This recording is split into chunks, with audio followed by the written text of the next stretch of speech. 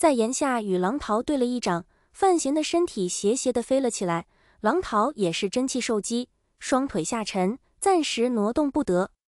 当时摆在范闲面前有两条道路，一是往山上去，二是往草庐方向去。第二条路无疑更为危险。云之兰及剑卢二徒还在山下守着，如果一旦陷入此等绝境，范闲纵使有通天的本领，只怕也极难活下去。然而出乎北齐和剑卢高手的预料，范闲在空中如鹞子一般凌冽转身，画了一道弧线，直直向着山居处的悬崖冲了过去。悬崖之下，便是武道圣地之一的剑庐。范闲之所以做出如此冒险的选择，是因为他不甘心。他不甘心冒了这么大的险，却是连四顾剑的面没有见到，连北齐小皇帝的鞭还没有碰到。老天爷确实很眷顾他，让他在逃亡的路上，居然跑到了小园之中，看到了正站在山门旁那个扮作公子哥的小皇帝。鲜血像不要钱似的洒了北齐皇帝满头满脸，范闲欺近他的身体，却是根本无法收住自己的脚步，因为强行脱险，途上又与狼桃硬拼一掌，实在是已经到了极限。此时还想收脚，根本不可能。就在司礼里惊恐的目光之中，范闲抱着小皇帝，就像两个殉情的男男一般，决绝地、毅然的、一往无前的向着悬崖下堕去。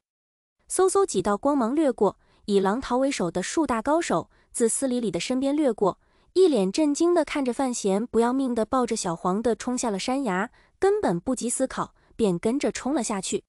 范闲当然不是自杀，这世上跳崖跳成娱乐的，除了五竹叔就是他了。虽然此时受伤不轻，怀中还抱着个重要人物，可是他依然极为准确地觅到了一个个落脚点，或是凸起的石头。或是陷入的草坑，就像是一个安装了弹簧的木头人，在陡峭的山崖上踩出一线烟尘，不过瞬息间便落到了山崖下方的平地上。堕下的速度极快，反震之力极大，范闲的唇角又渗出血丝来，而被他强行制住的北齐小皇帝更是被震得心血震荡，面色惨白。但饶是如此，这位皇帝陛下的眼眸中依然没有一丝恐惧之意。只是冷冷地盯着范闲的眼睛，略微有些不解，似乎没有想到范闲不仅能逃出来，而且还能制住自己。山崖下的平地正是剑庐的前方，此间异变陡生。原本正在强行阻止王十三郎入炉的剑炉弟子们，抽出腰间佩剑，迅即围成一个剑阵，将范闲围在了正中。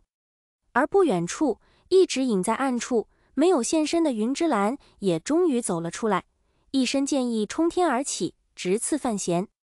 山崖上数道灰影掠过，以狼桃为首的几大高手也不过比范闲慢了片刻，便踏实而下，跟了上来。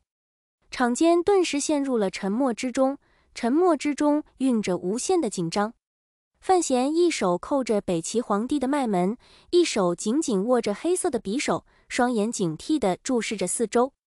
只需要淡淡一瞥。他便知道，天底下的九品高手，尤其是北齐东夷两脉的人，基本上已经汇聚此地。自大东山一役之后，大概只有今天的剑庐才能汇聚如此多的强者。而这些人的目标很一致，很简单，那便是留下范闲。问题是，范闲的手中握着北齐皇帝的手，虽然他握得相当温柔，可是谁都知道，只要他愿意，体内那怪异的霸道真气一送。北齐皇帝陛下便会马上变成无数团血肉，在这么多高手的围攻之中，居然还能制住陛下，果然不愧是南庆范闲。场间有一人看着这一幕，轻声赞叹道：“说话的人是剑庐的二弟子。”此时，所有的人都处于一种紧张的情绪之中，只有这位不属于两方的二师兄，才能够如此自然的感慨，将所有人心里想说的话说了出来。虽然天下皆知，如今的范提斯已经是九品上的绝顶强者，但是今日山居之上，明明是北齐小皇帝掌握了他的踪迹，不忍伏杀，没料到最后竟让他逃了出来，而且竟生生协助了皇帝，以为人质。不论是何道人，还是剑炉内的高手，在单对单的情况下，纵使不敌范闲，但至少可以给他带去极多的麻烦。更何况山居中还有一位实力绝对不在范闲之下的狼桃大人。即便是这样的情形，依然没法留住范闲。场间众人的心里都有些发寒，心想范闲此人在这两年里，莫非又有什么奇遇，竟然强大到了如此地步？范闲微低着头，咳了两声，紧紧握着小皇帝的手，环视四周，沙哑说道：“原来大家都在，这时候可以好好谈一下了吧？”剑炉地处东夷城郊，反凹形的草庐依山而立，占地极广。草庐之门在山崖之下，四顾剑及诸弟子闭关所在，却在草庐深处。此时十几名天下强者齐会剑炉之前，应该没有惊动剑炉深处的大人物。范闲知道自己并不强大，一个强大的狼桃就足以拖住自己，更何况人群之外，云之兰正剑运剑意地盯着自己。这两位都是成名已久的九品上强者，他先前之所以在山居中能逃出来，完全凭借的是自幼而生的对危险的野兽感应以及强悍的决断力。而至于最后捉住了北齐皇帝，这则要归功于他的运气。当然，如果不是他出乎众人意料，强悍无比的向着山崖下剑炉冲来，也不可能遇到北齐皇帝。所以，一切成功的要素便是实力、决断力、运气以及范闲以往最缺少的勇气。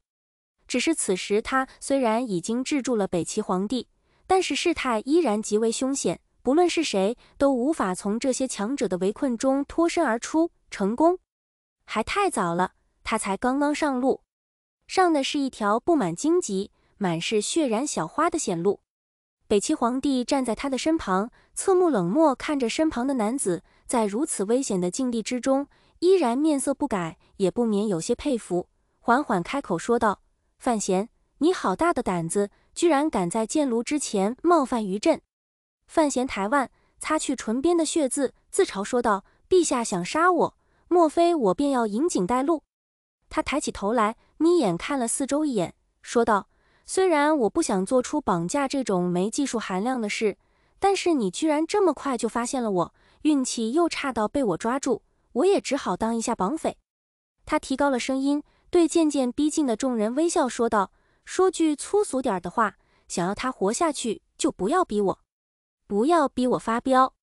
此言一出，所有人都沉默了下来。云之兰缓缓分开众人的队伍，对范闲拱手一礼，轻声说道。小范大人，你一个人便闹得我剑炉永无宁日，我云之兰想不佩服也不行。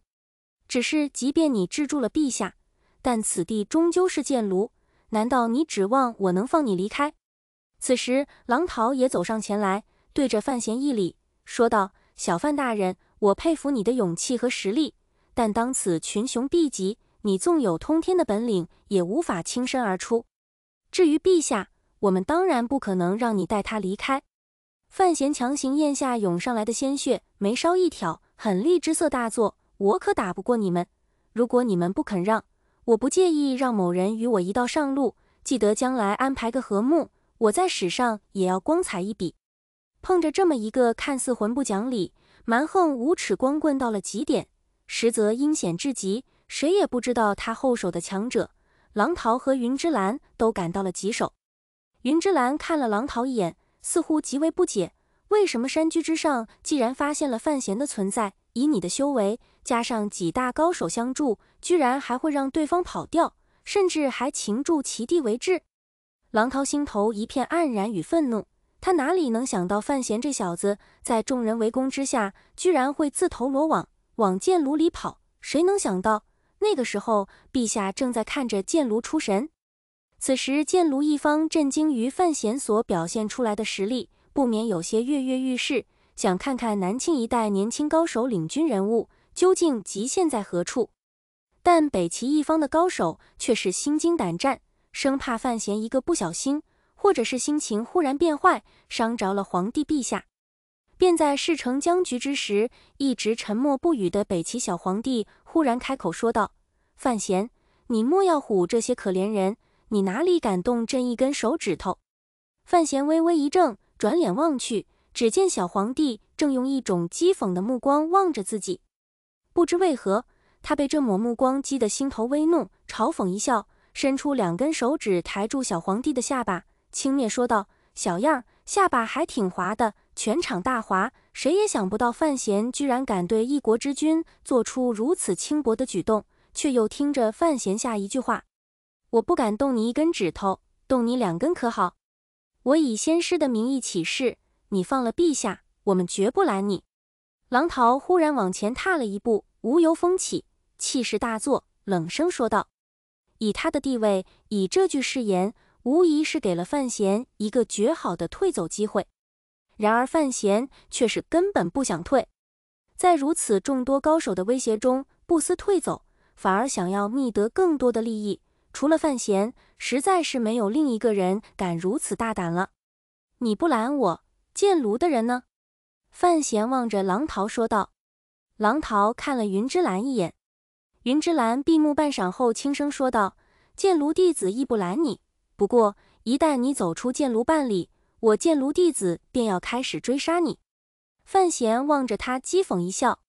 转头对狼桃说道。你也听见了，我可不想被人追杀。狼桃大怒说道：“那你究竟想做什么？”范闲沉默半晌，目光忽然望向了不远处的连绵草庐之中，目光渐垂，在那个似乎被众人遗忘了的王十三郎身上扫了一眼，平静说道：“我有些累了，我想坐一坐。协议达成，我放人，半里之内你们不能拦我。”狼桃和云之兰同时点头。其实不论是他们哪一方。此时心里都如被野火焚烧着，生怕范闲对北齐皇帝陛下有丝毫不利。范闲缓缓放开了北齐皇帝的手，然后小皇帝并没有马上退走，而是静静地看着范闲的眸子，似乎要从他的眸子里看出什么秘密来。北齐小皇帝忽然无奈地笑了，说道：“你的胆子真大。”